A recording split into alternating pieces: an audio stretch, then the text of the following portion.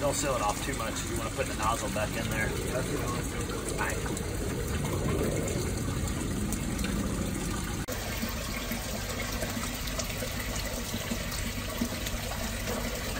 Pull the nozzle out about halfway. There you go. There it is. There, there.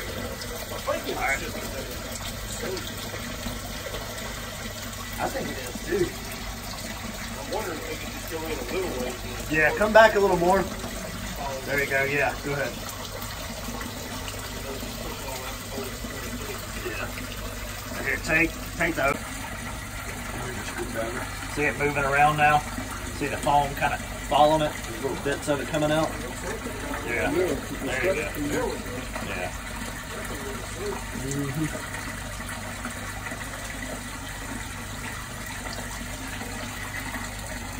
It's always kind of, you gotta find that sweet spot for it.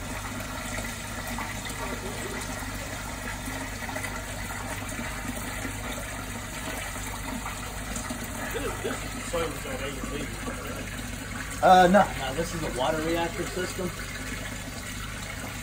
Yeah, see how it sealed off all the other leaks over there?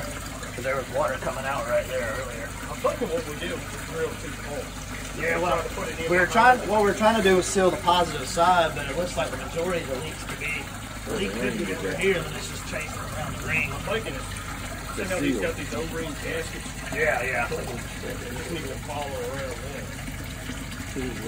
See it leaking down? That's great. What's that? It's leaking down. The foam? Yeah, Yeah, yeah. to.